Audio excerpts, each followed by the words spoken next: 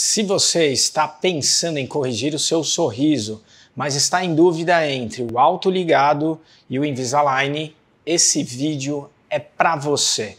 Eu me chamo José Hitz, sou Invisalign Doctor, proprietário da Hitz Odontologia e vou falar as principais diferenças entre as duas técnicas. Muito bem, o alto ligado ele é um aparelho fixo onde você não precisa colocar aquelas famosas borrachinhas, o que torna as consultas, né, você precisa ir menos vezes ao dentista. O Invisalign ele é um aparelho onde todo o fluxo dele é digital, onde o primeiro passo é feito um escaneamento, uma cópia digital dos seus dentes, e a partir disso a gente usa o software da empresa para simular o que vai ser corrigido na sua mordida, o que acaba tornando os tratamentos mais rápidos, porque onde o dentista vai gastar tempo é no planejamento. Depois, para cada etapa da simulação, são feitas várias plaquinhas que você vai trocando de semana em semana. E você também vai muito pouco ao dentista. Claro, varia de consultório para consultório, mas, por exemplo, aqui a gente vê os pacientes a cada três meses.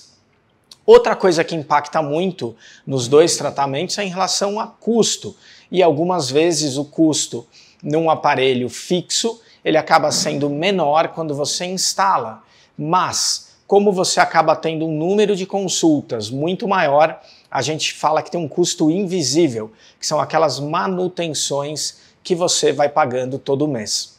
Independente da técnica que você vai usar, é importante que você escolha um bom profissional para conduzir o seu tratamento, porque o trabalho o tratamento ele não se executa sozinho. Você precisa de um bom diagnóstico e de um bom planejamento feito por um bom profissional. Então, dependente da técnica que você escolher, procure um bom profissional para te ajudar.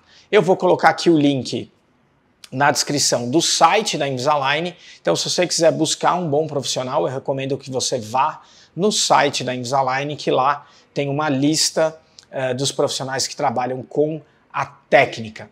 Se você tiver qualquer dúvida, também deixa nos comentários ou vai lá no meu Instagram, que é o arroba Um forte abraço.